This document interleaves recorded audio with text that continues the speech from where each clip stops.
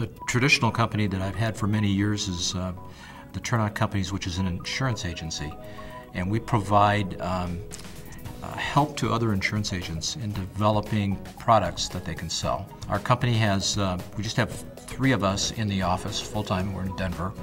Um, these people have been with me for a number of years now, and then we have several people who work from home.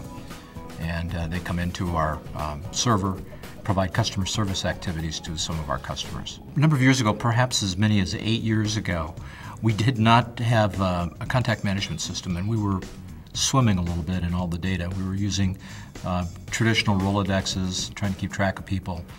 Um, so we began to look for a contact management system that we could use on our, on our computers. And we looked at several and ended up picking ACT.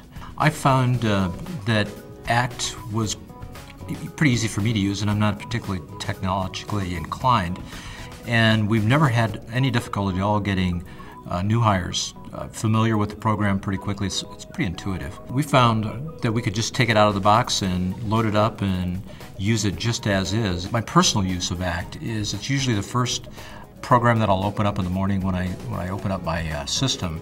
I leave it on all day, and I'm um, I use it in a variety of ways, but the most common use for me personally is uh, just a, uh, it's, it's, an electronic business card.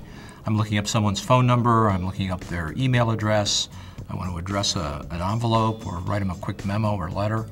So it's a, it's a, it's a very functional day in, day out tool for me. There's another feature that um, I learned to use about a year ago, which has become invaluable to me, and that is linking an email to an ACT record. So before I would sometimes copy the email and paste it into Word and then attach that to the record. I learned that I don't have to do that. Instead, I simply, um, there's a button on the toolbar, just click on the button and it will um, save that email and attach to the record. And I, I, use that all the time now. There's a couple of other th tools that I've, um, I'm using extensively. One of them is note keeping. If I find that um, I used to uh, just jot, and I still do sometimes, just jot notes to myself and then I lose them or I can't find them again. So I can either scan them and put them into uh, the, uh, attach them to the ACT record, or I can just free type in uh, using the notes button in ACT. And that has been um, a real valuable tool for me, just keeping track of simple things like passwords as an example. We launched a marketing effort a year and a half ago to dentists we now have over 3,000 dentists in our ACT database.